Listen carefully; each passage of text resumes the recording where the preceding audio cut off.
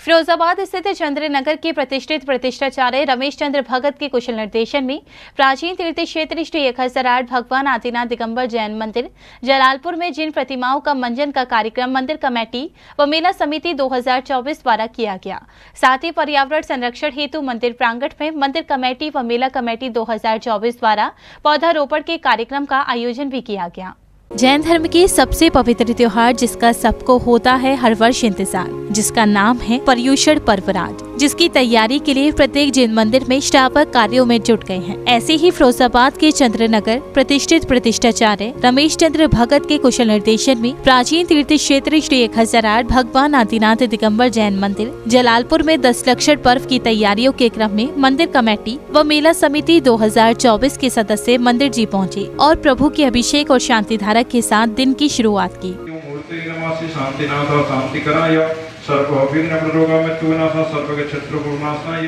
मंदिर कमेटी के अध्यक्ष श्री मनीष जैन जी ने इस पूरे प्रयोजन के बारे में बताया। श्री चंद्रनगर फिरोजाबाद में प्रतिष्ठित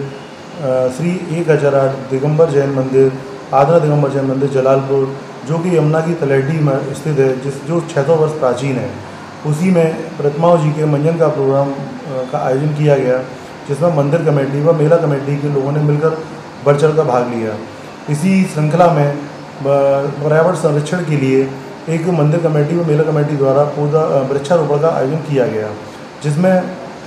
मंदिर कमेटी के अध्यक्ष मनीष जैन, महामंत्री विनोद जैन, ऑडिटर पंकज जैन, व्यवस्थापक अशोक जैन, मनोज जैन व आयुष जैन के द्वारा गुलमोहर का पेड़ लगाकर कार्यक्रम का शुभारंभ किया। इसने समाज को यह संदेश दिया कि यह एक छायादार और